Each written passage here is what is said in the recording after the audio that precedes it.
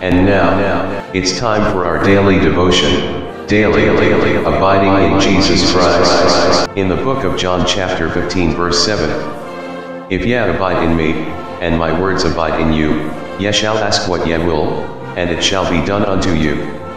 So we invite you to spend a little moment as we bring you today's daily Abiding in Jesus Christ, a daily devotional ministry project of Christo Genobaga from passages taken from the Holy Scriptures with quotations from the Spirit of Prophecy by Ellen G. White.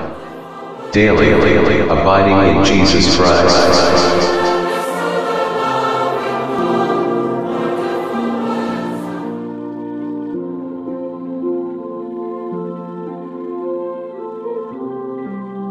May 12, 2020. Jeremiah 31 verses 31 to 33. Verse 31. Behold the days come, saith the Lord, that I will make a new covenant with the house of Israel, and with the house of Judah. 32. Not according to the covenant that I made with their fathers in the day that I took them by the hand to bring them out of the land of Egypt.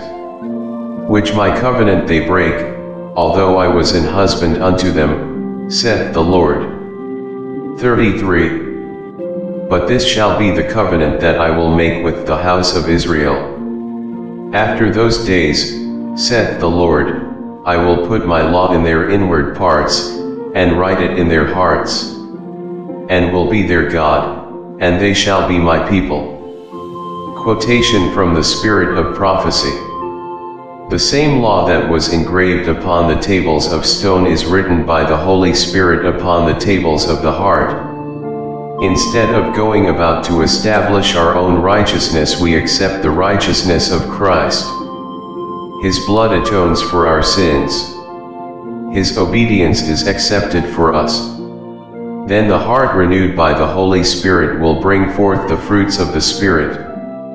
Through the grace of Christ we shall live in obedience to the law of God written upon our hearts by Ellen G. White. Patriarchs and Prophets, page 372.